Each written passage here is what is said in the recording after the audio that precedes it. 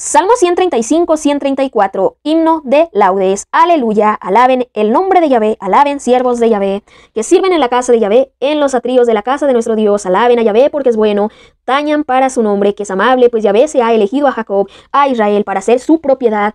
Bien sé yo que es grande Yahvé, nuestro Señor más que todos los dioses. Todo lo que quiere Yahvé lo hace en el cielo y la tierra, en el mar y en los abismos. Levanta las nubes por el horizonte, con los relámpagos hace llover, saca de sus depósitos el viento, hirió a los primogénitos de Egipto, desde personas hasta el ganado, mandó señales y prodigios en medio de ti, Egipto, contra el faraón y sus siervos, hirió a incontables naciones, dio muerte a reyes poderosos, a Sijón, rey de los amorreos, a Oc, rey de Basán, y a todos los reinos de Canaán, dio sus tierras en herencia, en herencia a su pueblo Israel. Ya ve tu fama es eterna, ya ve tu recuerdo por generaciones, pues ya ve hace justicia a su pueblo, se compadece de todos sus siervos, los ídolos paganos son plata y oro, obra de la mano del hombre.